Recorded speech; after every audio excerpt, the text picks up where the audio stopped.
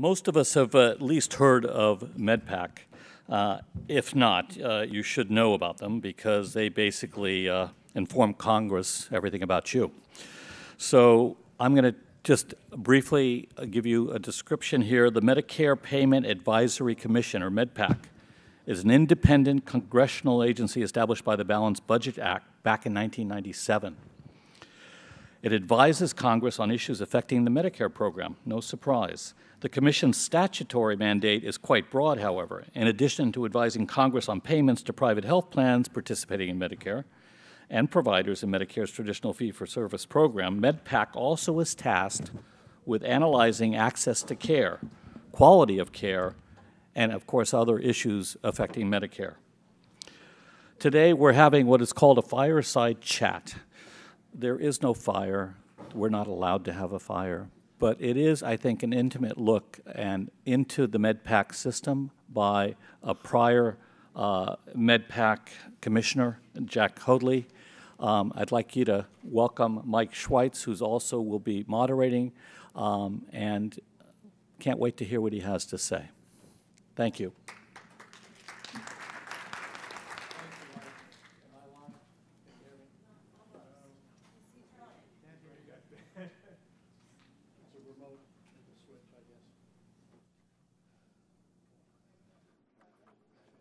Are we live? All right. Um, first, I want to welcome Dr. Jack Hoadley. Uh, we are fellow Hoyas, uh, whatever that is, uh, from Georgetown. Actually, it's a plant. Did you know that? I always hear the what the hell's a Hoya? yeah.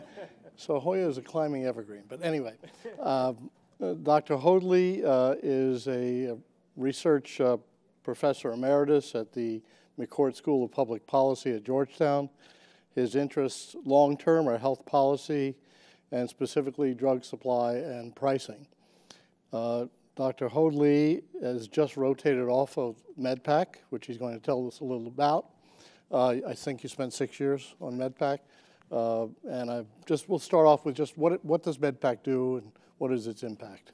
Sure. I'm happy to be here today uh, be part of this uh, session.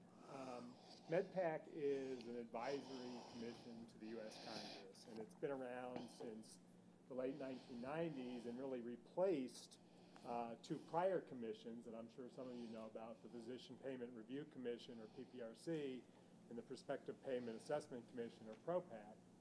Um, and those two uh, existed back in the, I guess we're having those two existed um, back in the 1990s and 1980s uh, to deal specifically with the hospital and physician payment systems, but under the Balanced Budget Act of 1997 were brought together to create you know, one commission that could deal with the program more broadly. As an advisory commission to the Congress, MedPAC, we don't have any authority. I still kind of, kind of say we, because I've been off of it for such a short time. And I should say, one of the caveats I always make is that I don't speak on behalf of MedPAC. I didn't when I was on it. I always speak for myself. Uh, more true now that I'm not a member. Um, MedPAC doesn't have any power over anything. Uh, MedPAC is advisory. MedPAC makes recommendations to the Congress, to CMS, to HHS, and suggestions. But you know, it really is the case that the kind of recommendations that we make, some by formal vote that are in the bold print in the reports, and others that are, you know, more general statements that maybe the commission sends in comments to CMS uh, or writes in the text of a report, really do get listened to. Um, one of the ways I became aware of that when I went to work almost 20 years ago now at HHS, one of the things I regularly heard when I would sit in decision-making meetings is, is you know, has MedPAC weighed in on this issue. And the folks inside HHS wanted to know that, and certainly the things do end up, many of our recommendations do end up getting passed into law. Good. You're well aware of our concerns about physician reimbursement. What, what, are Med, what were MedPAC's and what are MedPAC's views on the reimbursement system and recent issues related to it? Yeah, so you know, MedPAC has, I mean, I, I, go back, I was a staffer at PPRC uh, about the time that the Medicare fee schedule actually went into effect, and I guess it was 1992. Um, and so, you know, PPRC, the predecessor to MedPAC, was around at the creation of the fee schedule. And I think all along, you know, that commission and now MedPAC really believe strongly in some of the core principles that underline the payment systems. That physician fees should be based on the work and the resources that go into providing a service, uh, and it should be done in a way that's fair, that treats uh, primary care equitably with specialty care and so forth. And one of the concerns has been in recent years, and that MedPAC has talked a lot about, is the ways in which the system has become a little too far skewed away from uh, the core of primary care, whether it's delivered by a primary care physician or whether it's li- delivered by a rheumatologist or somebody else uh, who's seeing that patient, doing office visits, talking to the patients, and the, the payment for those services just has not kept up with the payment for others. And so, you know, we've talked a lot. There's a chapter in the um, most recent report, the last one that I was involved with, the June 2018 report, to begin to try to surface some ways to rebalance the fee schedule. You know, I know there's also been issues about this new proposal from CMS, and I heard talking about it this morning for the E&M payments. And I think if you look at the comments that MedPAC sent to CMS, you know, I thought captured very well some of the issues with that new proposal. Going at some issues that are real issues, like documentation concerns, but doing it in a way that doesn't seem to really um, work in a way that's going to change the system in a good direction. So lumping together uh, so many levels of visits means patients who need more intensive kinds of care are going to end up either not getting that, have doctors who don't want to see them, or getting told you have to come back for two or three visits to work through the different things, and that becomes an, an issue for the patient, for the beneficiary. And so, you know, use that as a starting point to think about what's the better way to address the problems of documentation, of rebalancing the fee schedule to better, to better deal with uh, visits and primary care. When you talk about primary care, you're really referring to cognitive care, Yeah. are you not? So cognitive care includes services provided by non-primary care physicians as well. So you're talking about E and M codes. That's right. And what was the recommendation from MedPAC regarding reimbursement for E and M codes for the next, for the following year? So, um, you know, the commission in, in the most recent report did not get to the, to the point of an actual recommendation, but put some issues out there in terms of some ideas that I think they're going to spend more time this year trying to work through to get to the recommendation, to figure out what's the right way to shift from procedural services to cognitive services uh, to try to move some money in that direction. What, what they've done a lot of research on, the staff has really done some good work on, are the various ways that procedural services have tended to get better paid, and when procedures get more efficient and so forth, don't get that sort of downgrading of the payment. Uh, and because you, you don't gain efficiencies in cognitive care, it still takes the same number of minutes to sit there with your patient to make a decision about how to treat them or to explain the treatment options to them or whatever it may be. Uh, it's those cognitive services that lose out in that in that process. And so, you know, in our various discussions over two or three years now, we've tried to, to think about different ways. And then you get caught up in the formulas. You know, how do you do it so that the right people get helped and, and, and you don't hurt in places that it shouldn't be when you know that all this is going to be done in some kind of a budget neutral basis.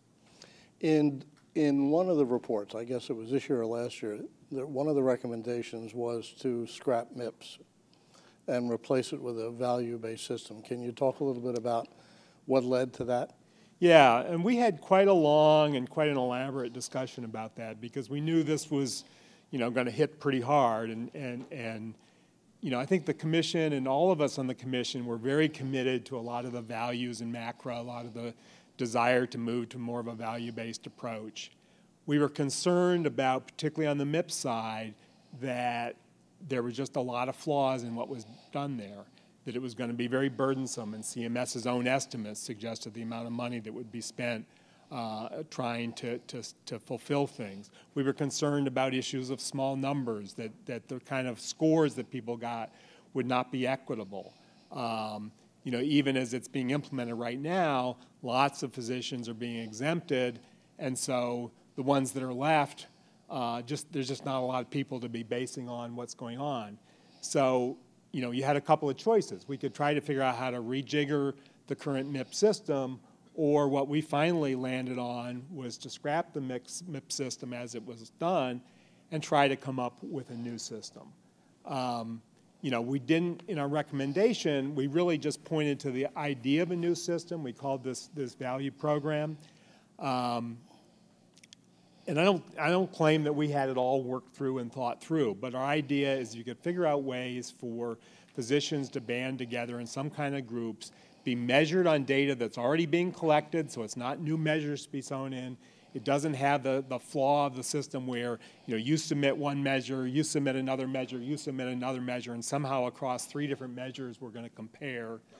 Uh, but to try to use standard measures that can be pulled out of claims data based on groupings that people form that don't have to be elaborate formal organizations, but more informal kinds of things.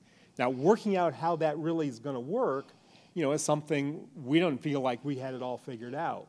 But we thought, let's recommend, and of course it's only a recommendation, that the MIPS be scrapped, that, that we begin a process, and, and MedPAC, the, the current group of MedPAC commissioners can continue to be part of that conversation of how to come up, how to start from our simple idea and try to build more of the rules and the regulations around. Or CMS could pick up, we could start with demonstrations and so forth.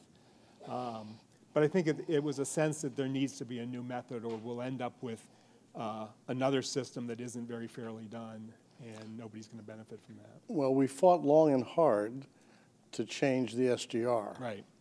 Uh, getting MIPS at us, I don't say for us, I say at us, uh, has been another onerous endeavor. And it clearly was the intent of Congress uh, to develop this kind of system, and many of us spent a lot of hours talking to our legislators about it. Uh, it's it's going to be kind of onerous to get something changed at this point, is it not? We appreciate that, and you know there are alternative pathways. Some have recommended that we take something like the the value program that we came up with the idea for see if you could do it through demonstration authority to start to work it out within the MIPS framework. CMS is obviously already evolving the MIPS framework. What we're concerned about is that if we sort of like build into a flawed framework and then people get kind of entrenched in it, it gets even harder to adjust it. Exactly. So the idea is to start to make some, some changes before the thing gets as entrenched. And even if something bad is entrenched, it's still hard to get out of it because you're kind of used to it and sometimes you get more fear of the new and the change and the unknown than the system you don't like today. Well, I can tell you we don't like the system today, so hopefully something better will come along, but uh, hopefully it'll be a while. Um, moving to a different uh, area, I know that one of your areas of interest in your research for many years has been drug pricing and patient access, particularly under Part D. Can you tell us a little bit about your work and your views of those issues, since it's been a a big topic in today's program. Yeah. So, you know, I started, uh, I like to say I started following Medicare Part D before it existed. Um, because actually, when I was at HHS in the 90s, um, as, a, as a career manager of a group of folks in the planning evaluation office dealing with health financing, uh, the political folks at the time came to us and said, you know, we think one of the biggest missing pieces of the Medicare program is outpatient drugs basically people aren't covered and they have to get it through one kind or another supplemental coverage or they pay out of pocket. And you know that made sense in a Medicare program in 1960s when drugs were mostly non-existent and where they did exist they were cheap. But by the 1990s that wasn't true anymore. And you know what looked expensive then doesn't even look that expensive today. So we started trying, a group of us on the staff started trying to, to sit down and figure out what a drug program to cover outpatient drugs in Medicare might look like. And we drew up a bunch of specifications. We, a bunch of us that didn't know a lot about prescription drugs, and that included me at the time, you know, got it, did our homework, figured out how you would sort of do this. What should insurance look like? We did an analysis, for example, of the prices that people face when they went in uninsured, not just the out of pocket cost, but the total price of the drug for somebody who didn't have an insurance card, was paying for a drug versus somebody who had an insurance card was paying. And we found that, that the uninsured person was paying a higher price. And of course, they had to pay it all themselves.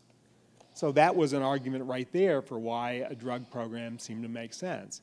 And we specced out a program. Now, that program didn't come to be until 2003, so it was another half dozen years from the time we sort of put it together in the late 90s until it became law in 2003 and then became a program, an active program as of 2006.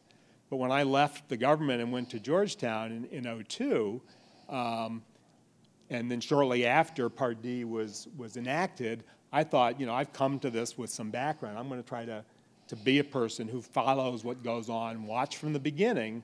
And so one of the things we did, we got some funding from then the Kaiser Family Foundation to help look at, first of all, just who's offering this Part D program. You know, when, when it was created, everybody was worried there'd be no plans to come in and offer it. And lo and behold, it turned out there were probably too many plans offering it. But we wanted to look at how many plans, what were the premiums, what did the formularies look like. We knew formularies would be key, as is obvious from kind of conversations you've been having so far today. So we started out in 2006 in that year one of Part D, just trying to understand what the plan formularies look like. Did they look like sort of the minimum possible plans? Well, the answer to that was no. In fact, they went well beyond the statutory minimums. But we continued to want to look at how the tiering worked, we watched the evolution of tiering over the years. Uh, we watched the growth of prior authorization and step therapy use and so forth, and really just made it our goal to try to track that Part D program, follow up. Now, along the way, we also looked at things like the impact of the donut hole. We looked at, at the extent to which people switch plans. Short answer is they don't for the most part, even when they could be benefited by switching plans.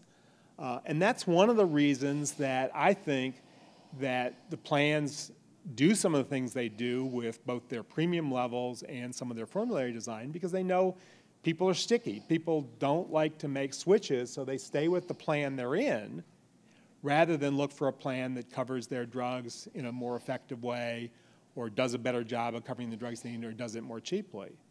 And so, in some ways, we think that empowers plans to maybe be more onerous with how they treat their, their enrollees. We've also done studies of the cost trends um, across the years and so forth. You've, you I'm sure you're well aware of the president's uh, blueprint for drug pricing. Uh, where do you think that's going? What impact do you think it'll have on the supply chain? You know, it's interesting. The, the blueprint has a lot of items in it, and most of the blueprint is written as we may consider X. We may consider Y. So there's not a lot that's concrete in the blueprint. Now, at the same time, there are a number of the items that were also in the president's budget for, for the fiscal year that's just ending up now. And of course, those were proposals that didn't go anywhere. Um, but I think it is going to continue to be an agenda. I actually think there's a number of items on the blueprint that are that are not particularly controversial. A lot of the ones that are aimed at different ways to try to uh, do a better job with, uh, with drug prices that people face out of pocket. So the out-of-pocket cost. Several of our MedPAC recommendations are in the blueprint. So for example, something that I was very excited about, which was to have an absolute out-of-pocket cap for people's cost in Medicare Part D. You know, we have a catastrophic phase of the Part D benefit, but you continue to pay 5% of the drug cost even when you're in that catastrophic phase in most of the list price. Over, well, even right, it's five percent of list price. Even if that weren't an issue, the point is you're still paying five percent sure. of something, and it's higher because it's based on list price. Um, and so, you know, the ACA rules say overall that there has to be a hard out-of-pocket cap on your out-of-pocket costs, uh, but we don't have that in Medicare. And so MedPAC has a recommendation that says there should be a hard out-of-pocket cap on, on your out-of-pocket Part D costs. That's also in the president's blueprint. Um, so I think there's some ideas in there that are good, but I think that there are very few ideas that really go to drug pricing, and that's my concern about the blueprint. It does a lot of things, even if some of them are good things, some I might not like, um, that address out of pocket costs, and that's an important part to look at. But the underlying drivers of drug prices are really not addressed in the blueprint.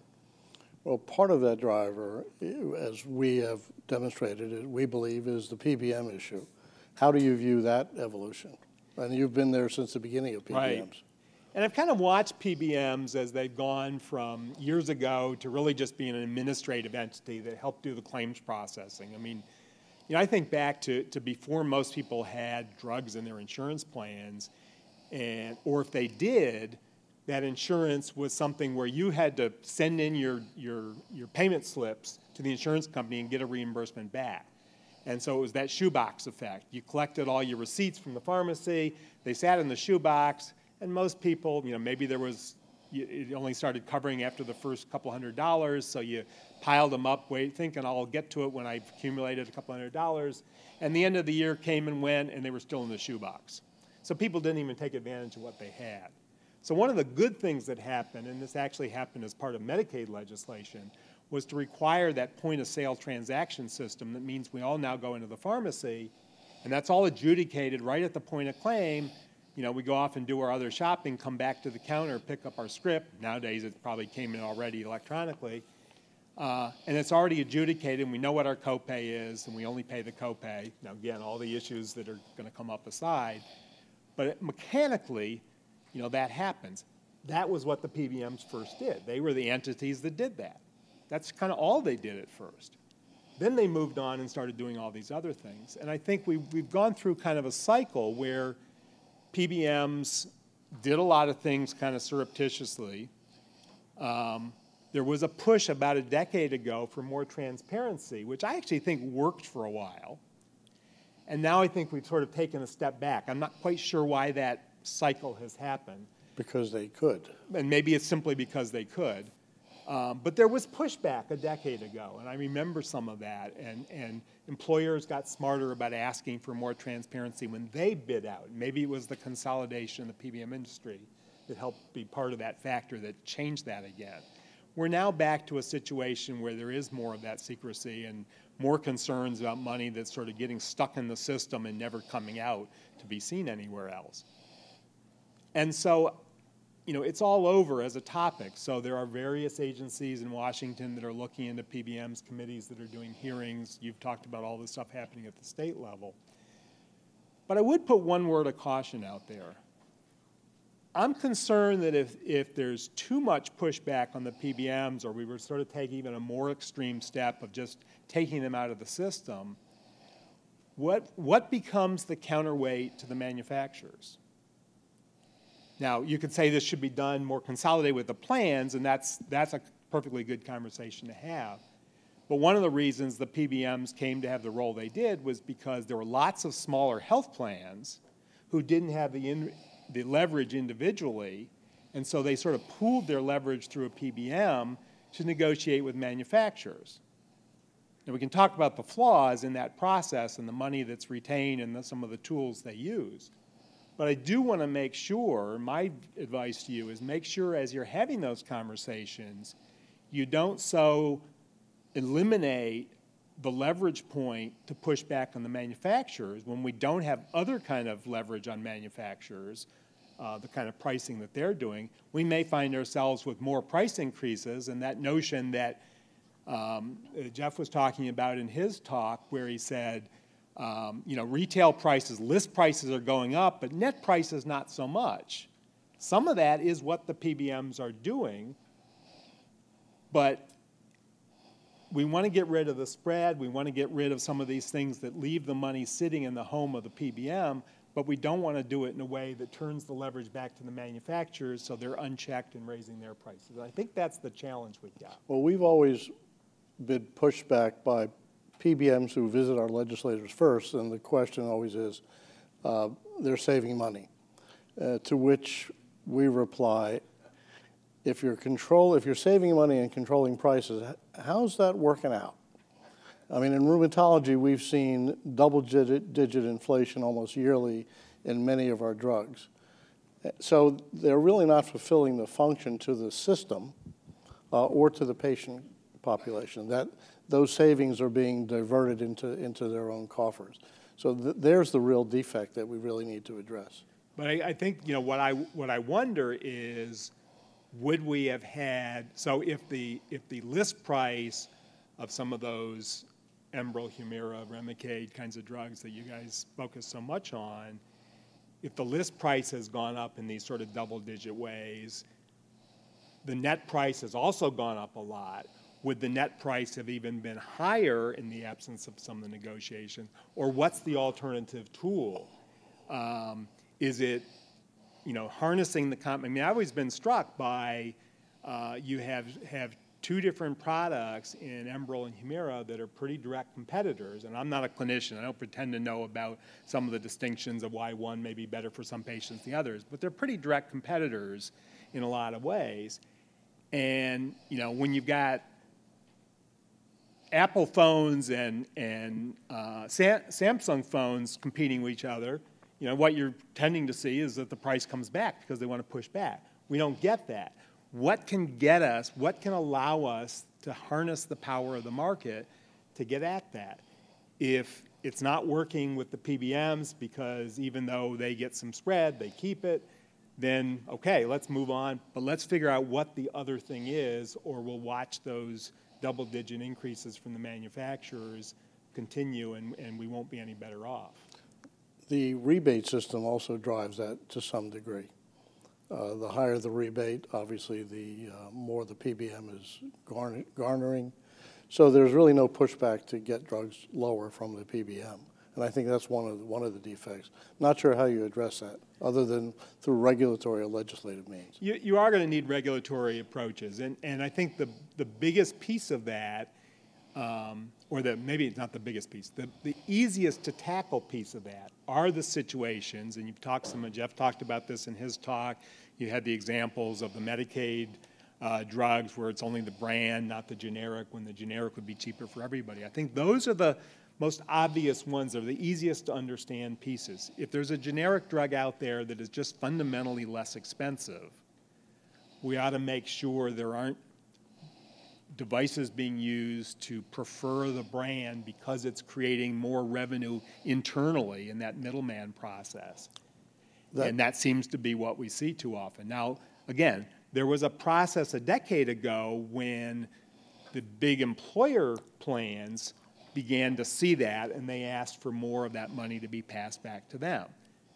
We've sort of taken a step back seemingly from that, and we've got these examples that are pretty, pretty outrageous. What I think is the tougher piece of that is where it's brand versus brand, and what's the way, the way to harness that because you know, we're in a system where you know, the PBM the health plan, forget the PBM, let's just assume it was the health plan. The health plan doesn't take possession of the drug. So the rebate is there mechanically as a way to create a discount when the drug itself passes from manufacturer to pharmacy and you want your agent, the drug plan, to be negotiating for you, and yet they don't actually take possession of the drugs. So, what becomes our alternative means to do that? Do we have to go at some other thing? Do we have to think about other sort of government steps to look at pricing more directly. Um, you know, a, a, friend of mine, uh, Len Nichols at George Mason University, was talking the other day about an idea where the amount of patent protection a manufacturer gets for its drug maybe should be, and, and, and Jeff talked in his talk about that notion of, of the Hatch-Waxman and the, the fact that you know you get your 20-year patent, but you use a lot of that while you're doing your testing and your FDA process. And Hatch-Waxman adds years back into patent protection. Make sure you have at least something like eight years to be able to market your drug as the exclusive. And that's your incentive to innovate.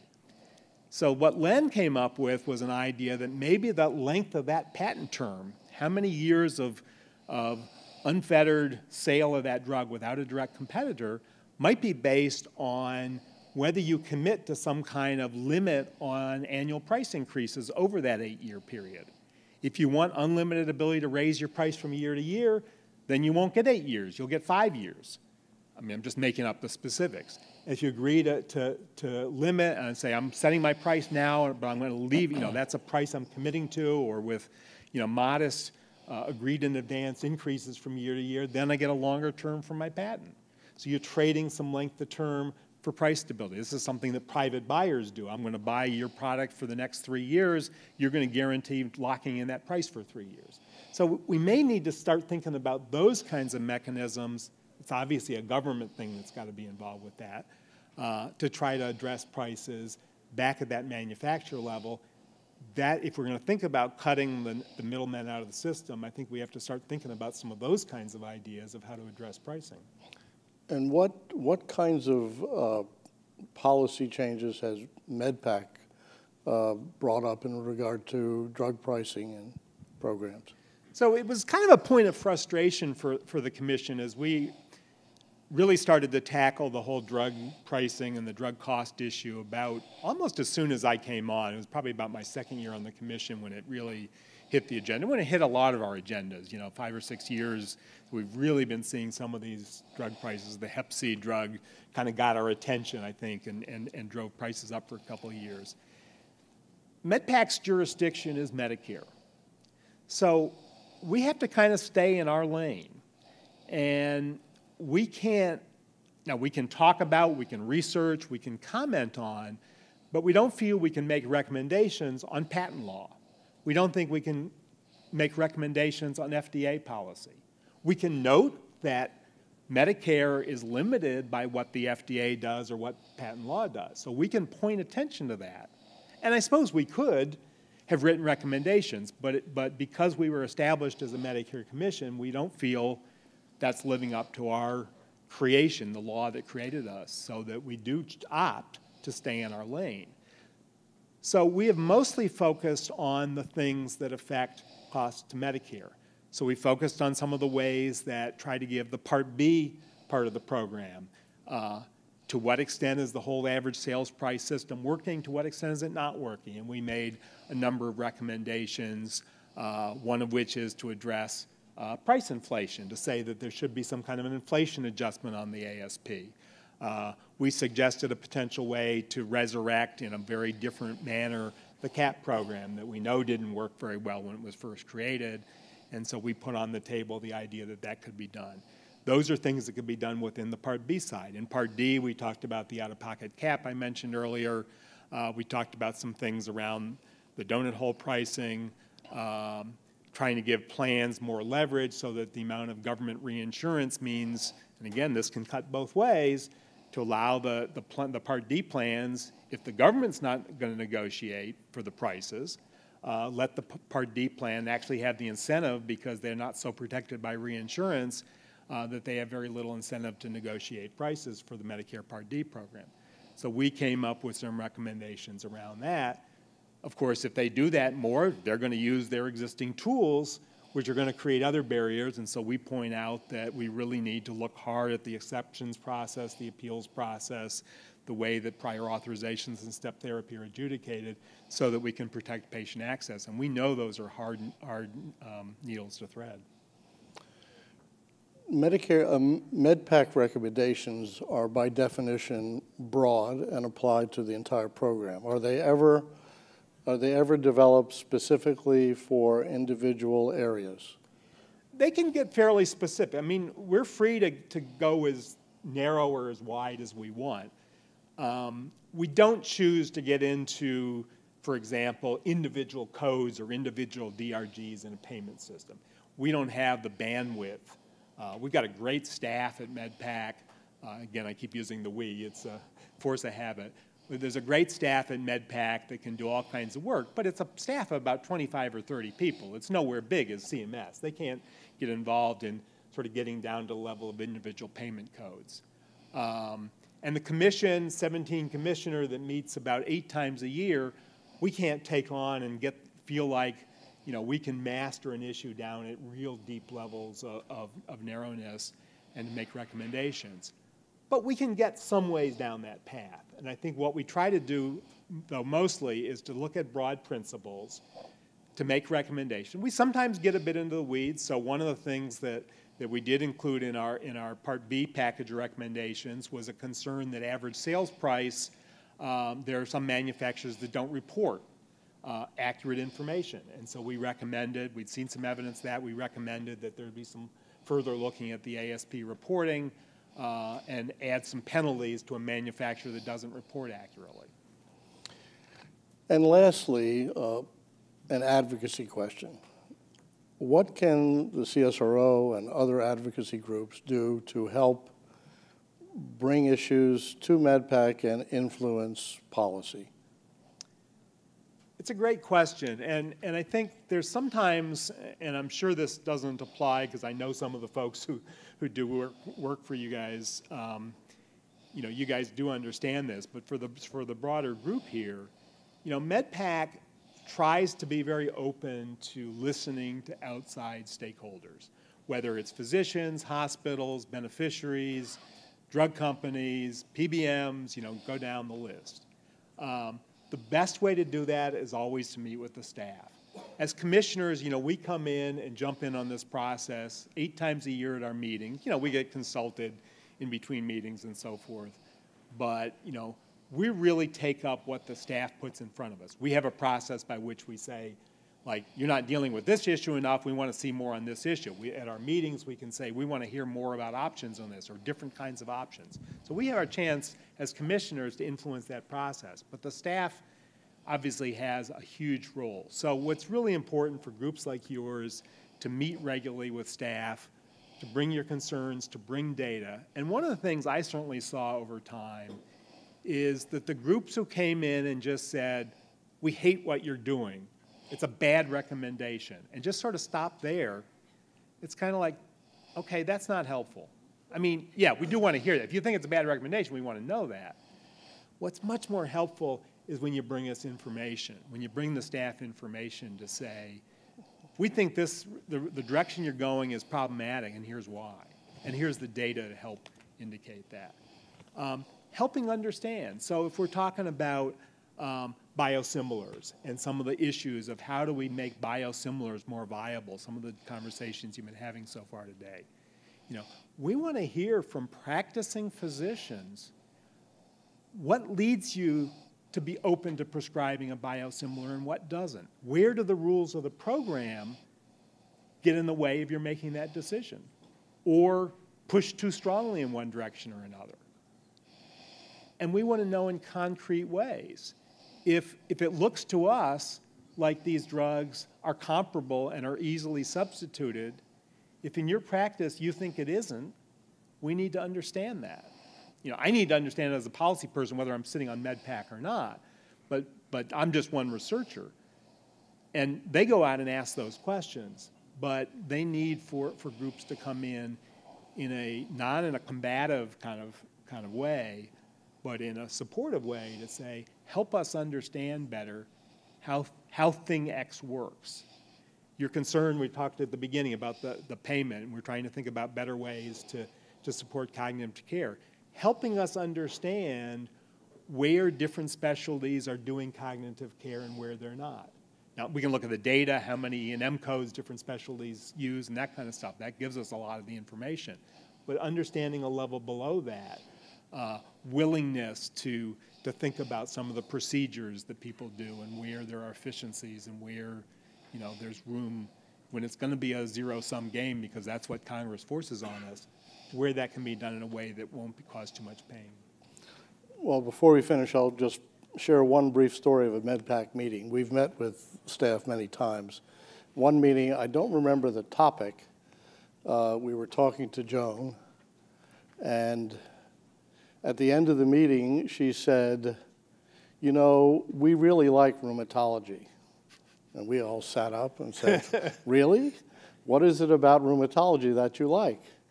Uh, she said, in all the changes, you're one of the only specialties that doesn't change your behavior based on the change in policy. Uh, and that was, that, was our, that was our last meeting there, uh, one of our last meetings. So it's true, I think uh, meeting the staff on a regular basis does help to transmit information and, and help our advocacy. So I want to thank you again for coming and sharing your views with us. And Mike, I guess you're going to We have time for a question. Oh, good. Thank you so much for coming. Um, Madelaine Feldman, uh, New Orleans. So I think we share your concern that if the rebate system goes away, what is going to um, keep the manufacturers from continuing to raise their price? Well, when I speak about this, there's two kinds of competition.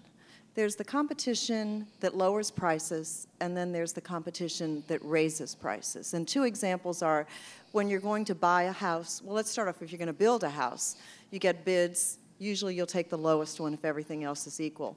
But if you're going to buy a house, the more people bidding, the higher the price goes. And the system that we have now is the latter, is the one when you're going to buy a house.